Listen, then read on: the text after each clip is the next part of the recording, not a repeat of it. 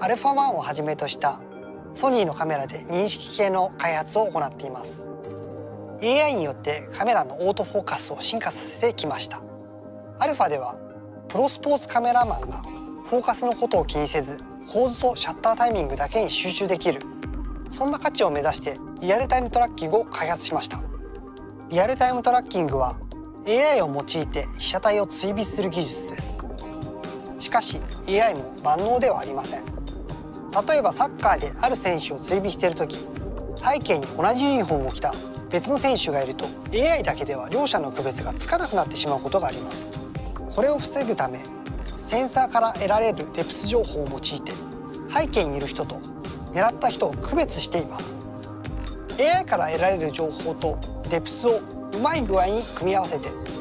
プロのスポーツ撮影で使える性能が出せるかそこに心血を注いで開発しました。エクスペリアではこの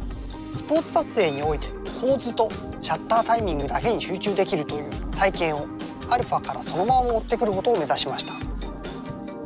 スポーツ撮影では望遠液での撮影が基本となります。そのため焦点距離を従来の 70mm から 105mm まで伸ばしさらに望遠液でのオートフォーカス性能も大きく向上させています。リアルタイムトラッキングの導入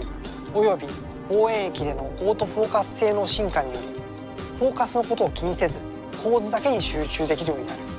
このことからエクスペリアによるスポーツ撮影は快適なもの。